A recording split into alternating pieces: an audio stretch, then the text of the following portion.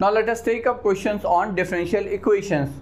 तो फिर से कुछ इंपॉर्टेंट क्वेश्चंस जो like forming the differential equation solving the differential equation based on different methods we have to solve differential equation so will be looking few important questions based on this chapter so starting with the first question here पहला जो प्रश्न है, वो है form the differential equation of the family of circles touching the y-axis at origin.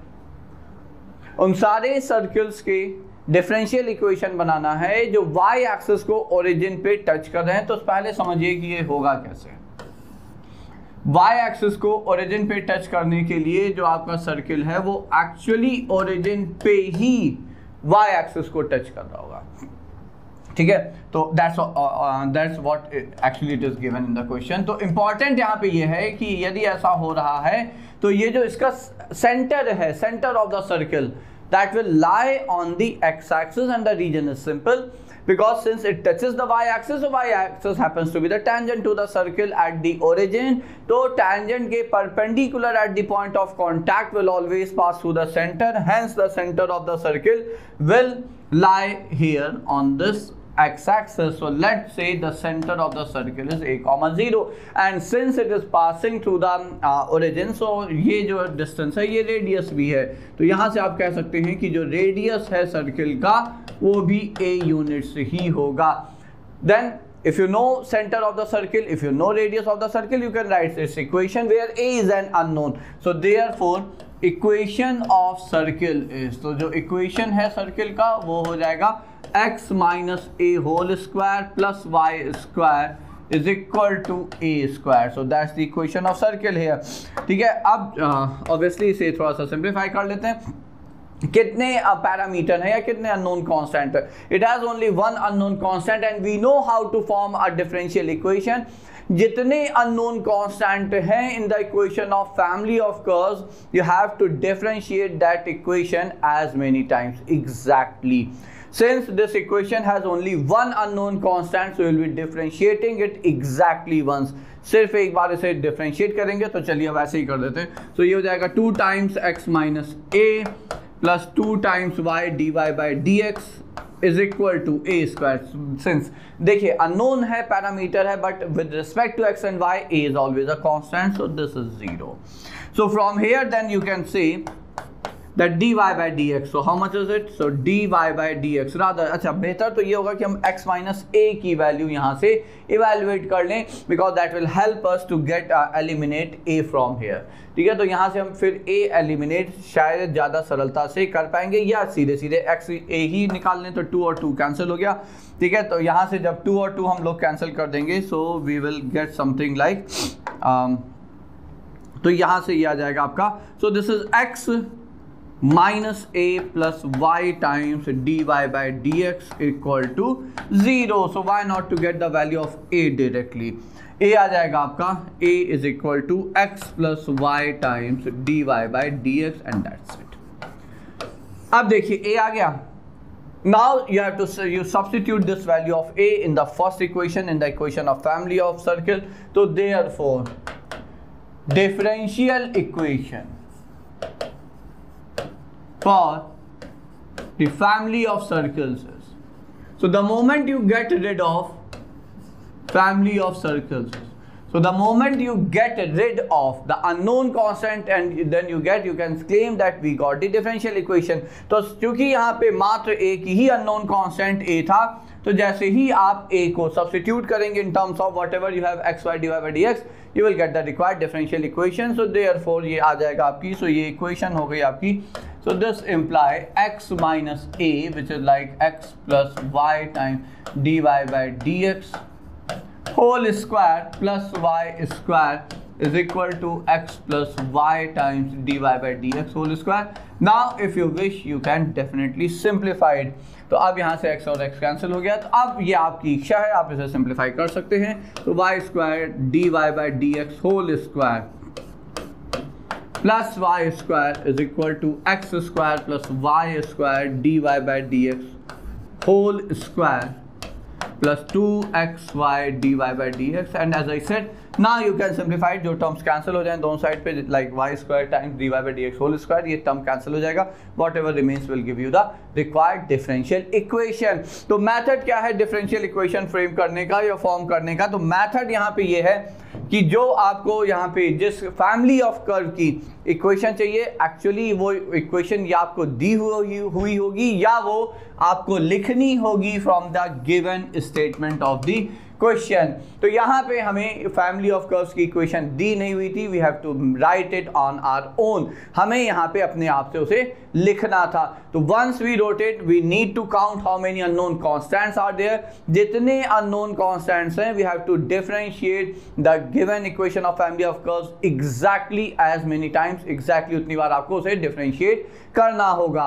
And once you do it you will be getting like number of unknown constants are three you will be getting three plus one equation how एक equation ये जो आपको दी हुई है you count it as equation number one equation of family of curves then every time you differentiate it you get uh, an equation. तो like जैसे ही आपने इसे differentiate किया ये टू हो गई। तो अगर तीन अननोन कांस्टेंट हैं तो आप तीन बार डिफ्रेंशिएट कर रहे होंगे तो आपको तीन और इक्वेशन मिलेंगी। तो दैट्स व्हाई ये थ्री प्लस वन तो with the help of those equations you have to eliminate the unknown constant completely the moment you uh, eliminate those unknown constant you get the required differential equation. हाँ जितना आप उसका सरलीकरण simplification कर सकते हैं उतना कर लीजिए। बिकॉज़ फाइनल आंसर जो है जिस फॉर्म में है तो आप you need to be like close to that final form of the answer so that's how we get out we form the differential equation बच्चों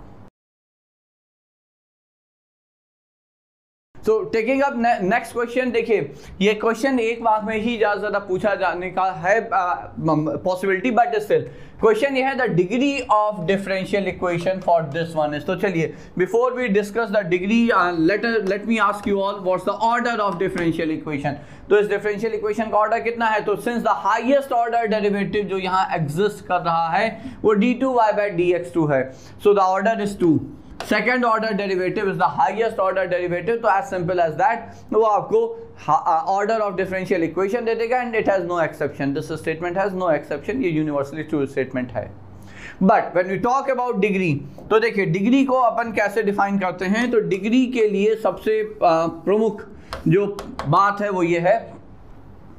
हाईएस्ट ऑर्डर का जो टर्म है, उसकी जो हाईएस्ट पावर है, वो डिग्री होनी चाहिए but rider but when all derivative terms are comparable to the term of a polynomial तो जब आपके सारे डेरिवेटिव टर्म जो हैं डिफरेंशियल इक्वेशन में, वो यदि किसी पॉलिनोमियल के टर्म्स के से कंपैरेबल हैं तो फिर आप डिग्री डिफाइन कर सकते हैं। And if it's not the case then you can define degree of differential equation तो यहाँ पे यहाँ पे देखिए, वैसे तो highest degree term for like highest order derivative is three here but at the same time जो रेस्ट्रिक्शन है, जो कंस्ट्रेंट है, उसको भी हमें चेक करना है कि क्या सारे डेरिवेटिव टर्म्स आपके पॉलिनोमियल के टर्म से कंपेरेबल हैं। तो आप पहला टर्म देख रहे हैं। तो yes it is comparable because जो पावर है, देखिए पॉलिनोमियल के टर्म्स की।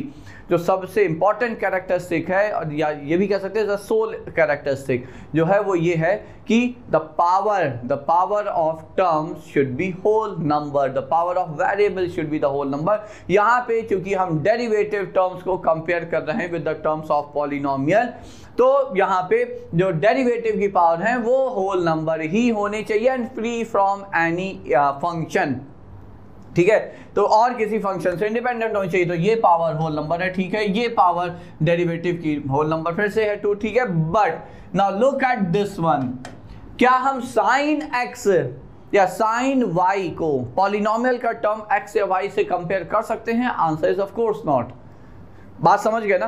तो यदि हम साइन एक्स साइन वाई को पॉलिनोमियल का टर्म नहीं कह सकते तो sine of d y by d x not it contains d y by d x had this dy by dx been like multiplied out of the sine function तो यदि इसको हम कुछ इस प्रकार से लिखते so this is this by dy by dx whole square plus dy by dx times sin x plus one equal to zero तो यहाँ पे किसी भी प्रकार की कोई समस्या नहीं आती we would have been easily able to define the degree of differential equation why because d y by d x की पावर यहाँ पे वन है, यहाँ टू है, यहाँ थ्री है तो सारे डेरिवेटिव टर्म्स आपके like comparable to the polynomial terms and dependent of any other function है। ठीक है? तो ये यहाँ पे सिर्फ़ हमें डेरिवेटिव टर्म्स को चेक करना है। साइन एक्स की प्रेजेंस या एब्सेंस कोई मैटर नहीं करेगी इन दैट केस बट यहाँ पे समस्या ये है कि डेरिवेटिव टर्म आपका साइन के अंदर है। You can't compare it with that polynomial term hence you will say degree is not defined you can define degree of this differential equation आप इस डिफरेंशियल इक्वेशन की डिग्री डिफाइन नहीं कर सकते। ठीक है? So that was brief discussion on order and degree of differential equation बच्चों। So now moving to next question. Now this question is like we have to solve this differential equation. ठीक है? तो वैसे भी मेजर फोकस जो इस chapter में है, वो सॉल्विंग द डिफरेंशियल इक्वेशन है, क्योंकि ज़्यादातर क्वेश्चन आप एक्सपेक्ट कर सकते हैं खास तौर से हायर क्रेडिट के। Higher weightage की question that will be from solving the uh, section uh, like solving the differential equation तो चलिए लिखते हैं देखिए कितने methods हैं हमारे पास how many methods do we have to solve a differential equation we have three defined methods here in our course this year तो कौन से तीन एक है variable separable दूसरा है homogeneous form और तीसरा है अपना which one so third one is linear differential equation so with the help of linear differential equation we'll be solving few differential equation अब one by one सबसे पहले जो आप गिवन इक्वेशन में चेक करते हैं कि क्या वो होमोजीनियस डिफरेंशियल इक्वेशन है या नहीं है for my uh, from my side i will suggest you all to check for homogeneous at the first step then for variable separable at the sec as the second step and then at last go for LDE linear differential equation form तो क्या ये equation आपका homogeneous का form है तो of course not because of the presence of log of y it can't be a homogeneous function ठीक है? Homogeneous या होमोजीनियस डिफरेंशियल इक्वेशन होने के लिए आपके जितने एल्जेब्राइक टर्म्स हैं, वो सेम डिग्री के होने चाहिए। तो चलिए, वो कंडीशन तो फुलफिल हो रही है। वाई है एक्स है, दोनों लीनियर टर्म है तो वन डिग्री के टर्म्स है, वो ठीक है। एंड अदरवाइज़ और अलॉन्ग विद एल्जेब्राइक फ़ंक्शंस अगर आपका कोई भी और फ़ंक्शन है तो that must be the function of either y by x और x by y only then only you can claim that your differential equation is in homogeneous form. So that's not a homogeneous equation. अब जल्दी से हम check करेंगे कि क्या variable separable form है तो ये दिख रहा है। ठीक है तो आ, इसको आप इस तरह से लिखें y ln y dx is equal to x dy and we know when we have to solve it we keep dy and dx terms in the numerator only तो आपने dx को इधर रखा so dx और x you bring x to the denominator in LHS and you take the function of y to the denominator in RHS y times ln y ठीक है अब ये आ गया so now see you got like variables separated here now integrating both the sides you will be writing you, that statement so integrating both the sides so 1 by x का integral हो जाएगा ln of mod x but what about like integral of one by y l n y तो वहाँ पे आप L N Y को T मान लेंगे। चलिए सी हमने यहीं पे लिख देना है। या लिख दिया हमने। दैट्स योर चॉइस आप सी लेफ़्ट साइड या राइट साइड किसी भी साइड पे ऐड करेंगे। But you will be adding it on on one side only ठीक है? तो अब एल एन वाई को यदि हम टी मान ले तो उसका डेरिवेटिव कितना है? One by y d y ठीक है? तो ये आपका उसका derivative d y by y d t बन जाएगा। So it's d t by t which integral is one l n t so this is l n of mod of ln y. तो that's the answer here अब आप इसे थोड़ा सा simplify कर सकते हैं, क्योंकि लॉग टर्म्स हैं, ठीक है? तो आप एंटी लॉक का प्रयोग कर सकते हैं, या आप एक लॉक को उठा के दूसरी तरफ़ ले जाएँ। You can use the property l n a minus l n b which is l n a over b तो एक लॉग आपका गायब हो जाएगा, ठीक है? So you can further then simplify it but our focus in this section is definitely how to solve the equations तो बस ये डिस्कस करना है कि इक्वेशन कैसा दिख रहा है तो उसको हम लोग को कैसे अप्रोच करना है? बिकॉज़ एग्जामिनेशन में ये आपको ये तो नहीं पता होगा ना इन द फ़र्स्ट स्टांस की ये इक्वेशन है किस एक्सरसाइज से? या आपकी वेरिएबल सेपरेबल का है या होमोजेनियस है तो you need to decide on your own तो उसके स्टेप्स कुछ फिक्स कर लीजिए so that you don't get confuse in your examination hall कि करना क्या है। ठीक है तो वो स्टेप्स थोड़ा फिक्स कर लेते हैं। सो माई सजेशन इज़ सब फ़र्स्ट क्विकली चेक आप देखिए, ये देखते ही इक्वेशन देखते ही आप समझ सकते हैं होमोजीनियस है या नहीं है। तो if not the variable separable पहले ट्राई करिए so that's what I did and then if that wouldn't have been the case I would have gone for l LDE linear differential equation form तो चलिए let's move at and solve few more question not taking upper question अब देखिए या वापस से आपको ये दिख रहा होगा कि बहुत ही सिंपल सा फॉर्म है। रीजन बहुत सिंपल कि एक आ, कुछ पर्टिकुलर सोल्यूशन वाले भी क्वेश्चन हम लोग देख लें यहाँ पे। तो ये दिख ही रहा है। वाई को आप एलएचएस में ले आएँगे डिनोमिनेटर में तो ये हो जाएगा और एक्स को आप उधर ले जाएँगे। So this tan x d x d x आप उधर लेके चलेगा ना इंटीग्रेटिंग बोथ द साइड तो इंटीग्रल यहाँ पे डायरेक्ट है। वन बाय वाई का integral is l n of mod of y and then this is tan x का इंटीग्रल टेन एक्स को आप लिखेंगे साइन बाई कॉस कॉस को टी मान लेंगे। तो फिर आपका ये आ जाता है l n of mod of sec x is in that plus c not the important point is कि ये c की वैल्यू निकालने के लिए आपको ये कंडीशन दी है कि y is one when x is zero so when x is zero so put x is equal to zero and y equal to one in the obtained general solution देखिए, जो आप सॉल्व करके differential equation in terms of an unknown indefinite integral constant c we call it general solution of the differential equation and the moment you replace it with particular value of c you get a particular solution so you may have like infinite many particular solutions on, based on the different values of C बच्चों ठीक है तो ये general solution है अब आपने जब यहाँ पे x को जीरो रखा तो L N of x zero x zero is one L N one is zero and y को वन रखा L N one is zero तो you get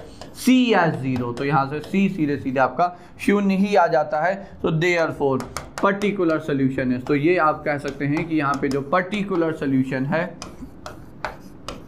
वो आ जाएगा। So this is like l n of y mod y is equal to l n of sec of x अच्छा अब आप L n यहाँ तो हटा ही सकते हैं तो कोई समस्या ही नहीं है। y is equal to sec x and that should be the answer है ठीक है तो ये हो गया आपका answer now let's move to the next one Now taking up yet, uh, yet another question based on forming the differential equation. Now this time it's for family of hyperbolas having foci on x-axis and center at origin. तो x-axis पे foci on origin पे center. ठीक है तो foci चूँकि एक coordinate axes पे और सेंटर ओरिजिन पे है तो ये स्टैंडर्ड इक्वेशन के ही रूप में आएगा। Standard equation of hyperbola is x square by a square minus y square by b square equal to one और ये फॉर्म तब है जब आपका फोकाई जो है वो एक्स एक्सेस पे होंगे। सो लेट्स टेक इट तो let the equation of family of hyperbola is so let equation of family of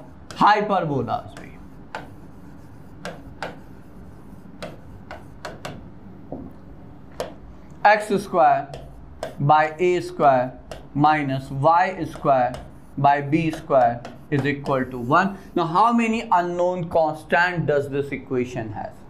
It has two unknown constant that is a and b. ठीक है अब इसका मतलब how many times are we going to differentiate it? So we'll be differentiating it exactly two times. आप exactly दो बार से differentiate करेंगे तो चलिए कर देते हैं तो पहली बार जब differentiate किया so this is 2x by a square minus 2 times y by b square dy by dx is equal to zero तो चलिए यहाँ पे टू और टू कैंसिल आउट कर देते हैं तो थोड़ा सा और सिंप्लीफाइड फॉर्म ही हो जाएगा। अच्छा उसी के साथ साथ हम ये भी कर सकते हैं कि this is like x by a square is equal to y by b square d y by d x is that अच्छा अब देखिए, एक चीज़ जो यहाँ पे करते करते ही दिमाग में आई, वो ये है कि इसी स्टेप को कुछ इस प्रकार से, इसी इक्वेशन को कुछ इस प्रकार से लिख दिया जाए कि अगली बार आपका ए और बी डायरेक्ट एलिमिनेट हो जाए। देखिए, दो ऑप्शन है। आप इसी तरह से वापस से एक बार डिफ्रेंशिएट कर दीजिए। You have x on one side you have y on other side a square b square से रिलेटेड आपकी तीन इक्वेशन आ जाएँगी। एक ये है, एक ये है और एक अगला डिफ्रेंशिएट करके। परंतु, जो बेसिक गोल है, वो ये है to get rid of a और b a and b somehow anyhow कैसे भी ए और बी जो अननोन कॉन्स्टेंट्स है, उनसे आपको मुक्ति चाहिए। तो फिर जितनी जल्दी मिल जाए बिना किसी एलिमिनेशन के मेथड को लगाए, वो ज़्यादा सरल होगा। So what I will suggest is कि आप इस इक्वेशन को कुछ इस प्रकार से लिखें कि मान लीजिए आप बी स्क्वायर को उठा के धर लिया b square by a square and take x in the denominator this side अब आप बताएँ कि now if will be differentiating again with respect to x so won't this get zero ये आपका शून्य हो जाएगा और ए और बी एक बार में एक ही साथ गायब हो गए।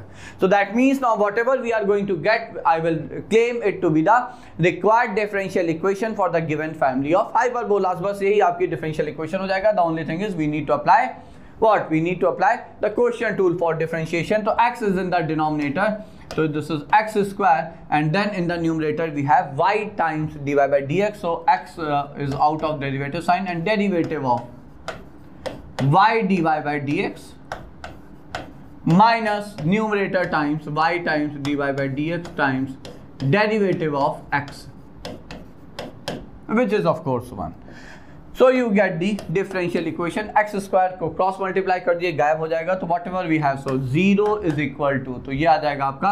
अगर हम यहीं से लिख लें तो this is x times now you we need to apply the product rule तो ये हो जाएगा d by d x whole square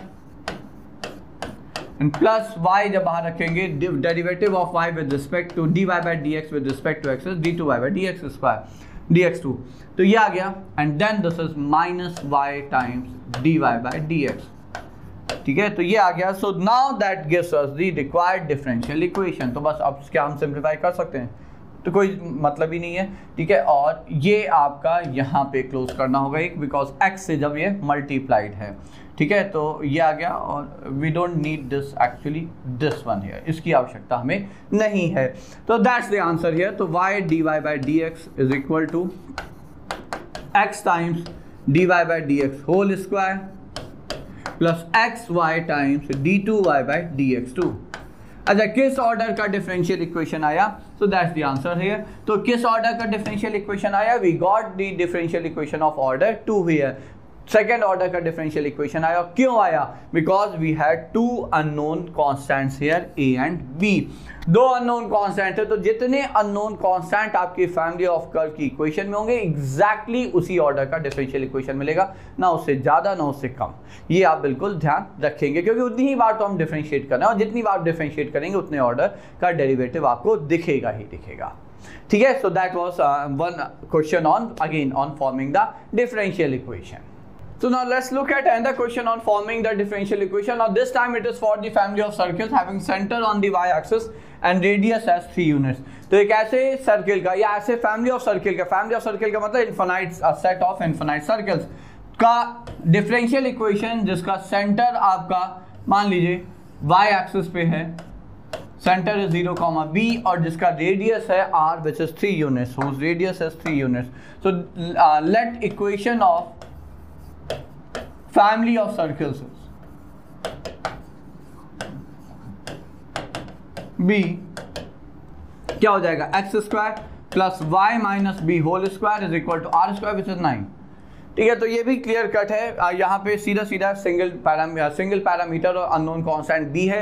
एक बार आप डिफ्रेंशिएट करेंगे। अच्छा यहाँ ज़्यादा ही सरल है। कारण यहाँ पे b एक ही जगह है, y माइनस बी के साथ। तो we have to just eliminate that term तो ये हो जाएगा two x plus two times y minus b times d y by d x is equal to zero तो यहाँ से फिर आप y माइनस बी की वैल्यू निकाल सकते हैं। You can get this value here तो ये आ जाएगा आपका सो टू से टू कैंसिल हो गया। तो y minus b is simply तो this is nothing but x over d y by d x और आप लोगों को याद होगा कि x over d y by d x को ले सकते हैं, x times d x by d y isn't that reciprocal करके आप इसे d x by d y के टर्म में लिख सकते हैं। तो y माइनस बी की वैल्यू आप रख देंगे सो देयर फोर आप नाउ यू कैन से so therefore differential equation is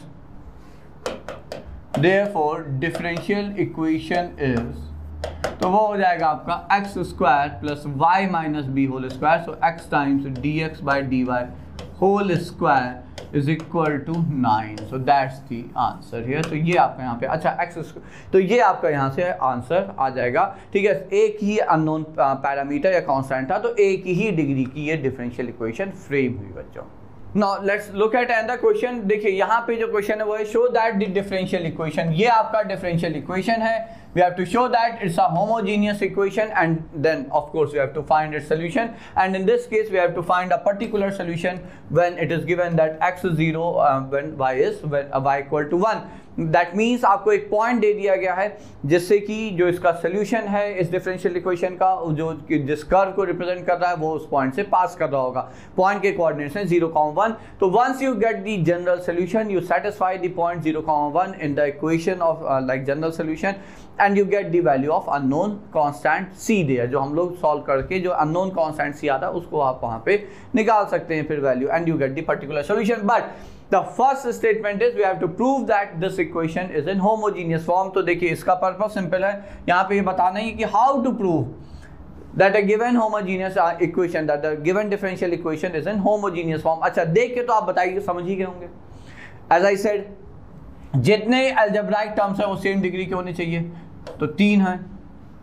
dx के साथ वाई है और dy के साथ y है और x है तो they are of same degree degree one तो वो लीनियर टर्म हो गए। और जो एल्जेब्राइक टर्म्स नहीं हैं, वो फ़ंक्शन सिर्फ़ y बाई एक्स या x बाई वाई के होने चाहिए तो दोनों ही एक्सपोनेंशियल फ़ंक्शंस हैं x बाय y के।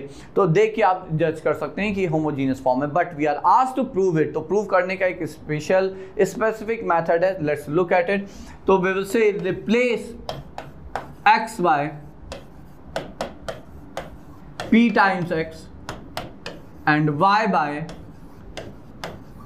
p times y. To replace x by p uh, times x and y by p times y in the given differential equation. In the given differential equation दी हुई differential equation में आप x को p x से Y को p y से replace कर लीजिए। ठीक है तो व्हाट डू वी गेट आप देखिए, पहले करके देखते हैं तो क्या आ जाएगा? Two times p y e raise to the power p x over p y d अच्छा एक्स को जब आप पी एक्स से रिप्लेस करेंगे तो डी एक्स रिप्लेस हो जाएगा पी टाइम्स डी एक्स से। तो this is p times d x तो एक टर्म हो गया। Plus p y minus two times p x into e raised to the power px over py and then we have this p dy equal to 0. Now the simple rule is if this differential equation which you get after replacing x by px and y by px p y is independent is free from the unknown p introduce here तो यहाँ पे जो p introduce किया, वो cancel out अगर हो जाए पूरी तरह से, ठीक है? तो आप कहते हैं कि ये given differential equation is in homogeneous form तो आप देखिए यहाँ से p into p p square तो पी स्क्वायर पूरे से कॉमन आता दिख रहा है। तो ये आ गया two times y e raise to the power x by y d x ये आ गया प्लस अब ये हो गया y minus two x e raise to the power x by y and then this d y equal to zero अब p square into this is equal to zero तो p तो शून्य हो नहीं सकता because if you substitute p by zero तो there is no meaning for x and y in that case because x को आप p टाइम्स x से सब्सटीट्यूट कर रहे हैं। तो p ज़ीरो नहीं हो सकता तो you got back exactly the same differential equation तो आपकी जो डिफरेंशियल इक्वेशन थी 2 times y e raised to the power x by y, whatever it was. So, what was it? It's dx and then this is, so this is dx plus y minus 2x e raised to the power x by y dy equal to 0. So, that's the method to prove a given differential equation to be in homogeneous form. ये सीधा सीधा direct एक method है mathematical method है to prove a given differential equation to be a homogeneous differential equation ठीक है तो ये तो मेथड हो गया अब देखिए सॉल्व करने का क्या तरीका है तो to solve this differential equation what we need to do we either substitute y by x by a variable t और x by y by a variable t. Now what are we going to use? That depends कि हम dx by dy के form में differential equation लिखना चाहेंगे या dy by dx के form में लिखना चाहेंगे या ये इस बेसिस पे भी आप डिसाइड कर सकते हैं कि वो फ़ंक्शन x by y का है या y by x का है तो यहाँ पे चूँकि फ़ंक्शन x बाय y का है एक्सपोनेंशियल वाले टर्म्स जो फ़ंक्शंस हैं तो why not to convert it in the form of like dx by dy? That's our choice. तो तो अपने हाथ में तो dx by dy यदि हम यहाँ पे लिखते हैं। तो इसको उठा के उधर ले गए तो ये हो गया two x e raise to the power x by y minus y over two y e raise to the power x by y अच्छा यहाँ पे देखिए, एक एक अपने आप ही उस फॉर्म में आ गया, जिस फॉर्म का हमेशा क्या ध्यान रखने को कहते हैं, वो ये है कि when you are trying to get like get a given differential equation in the form of d y by d x और d x by d y तो एक जनरल स्टेटमेंट हमारा होता है कि आप इस चीज़ का ध्यान रखें कि डिनोमिनेटर में if possible you have only one term ठीक है तो उससे भी डिसाइड कर लेते हैं कि हम d y by d x के फॉर्म में लिखें डिफरेंशियल इक्वेशन या डी एक्स बाई डी के फॉर्म में लिखें। यहाँ पे डी एक्स बाई डी हमने उल्टे पहले ही डिसाइड कर लिया था on the basis of x y y but उससे वो भी इसी स्टेटमेंट की तरफ़ गया कि डी एक्स बाई डी को लिखने में आपके पास डिनोमिनेटर में सिंगल टर्म आया। So that's favourable in that case also ठीक है तो दोनों ही तरीके से ये अपने लिए काम का है। तो now let's say let's start the solution will say now let x by y be t So this imply x is equal to ty differentiating both the side with respect to x you get dx by dy is equal to t plus y times dt by dy. ये आ गया आपका now put this value of x by y by in t here in, on the RHS and replace dx by dy here in LHS so let's see what do we get तो ये आ जाएगा आपका so this is t plus y times dt by dy. Is that the case? Yeah. And this is equal to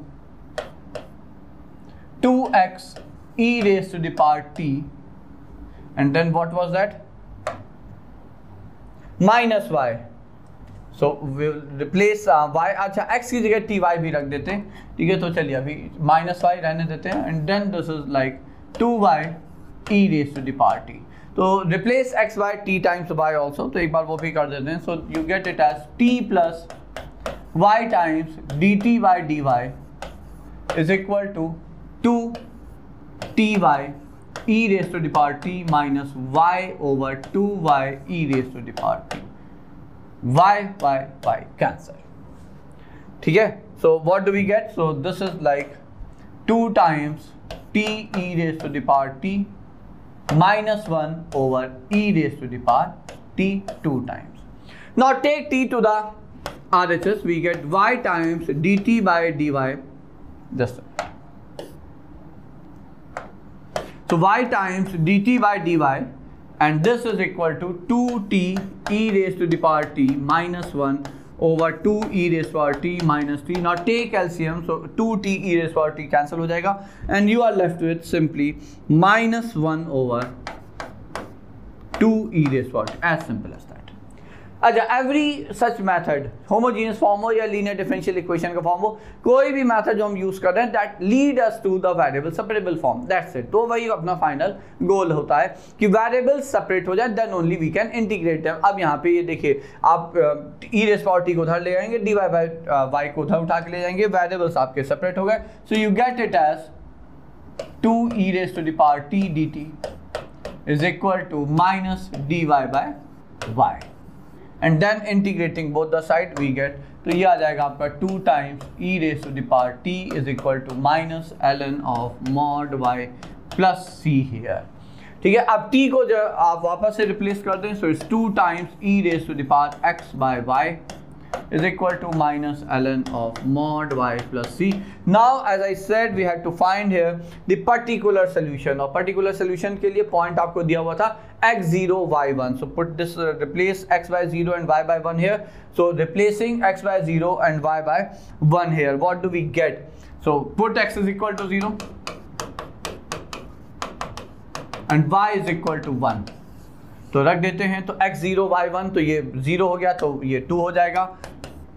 और l n one zero हो गया तो c की वैल्यू टू आ गई so therefore particular solution is that's what ultimately we need here तो particular solution आपका आ जाएगा and that is like two times e raise to the power x by y and then this is two minus l n of mod y that's it so that must be the answer here ठीक है? तो ये आपका question था homogeneous form पे based बच्चों।